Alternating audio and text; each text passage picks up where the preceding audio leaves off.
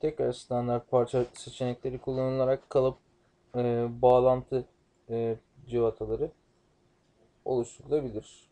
Örneğin Universal MM'nin altında e, SHCS bottom yani alt plakalarla ilgili sabitleme cıvatalarını oluşturacağız. Bu işlemde kalıp setine değil sub e, 0.15 olan yani şu ilk gruba e, ekleme yapacağız. Diğer seçeneklerin zaten renginin değiştiğini görebilmektesiniz.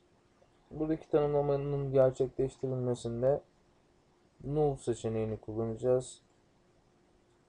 6 tane bağlantı cıvatası atacağız.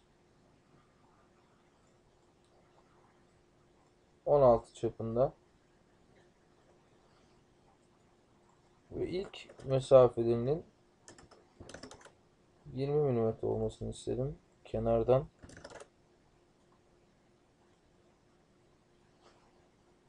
Apply tamamla birlikte işlem gerçekleştirildi.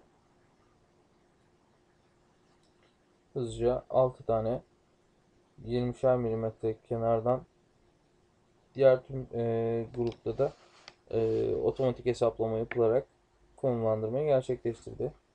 Aynı işlemi onaylıyoruz.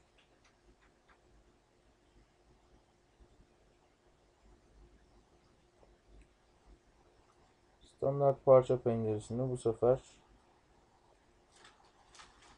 sub 15 2'ye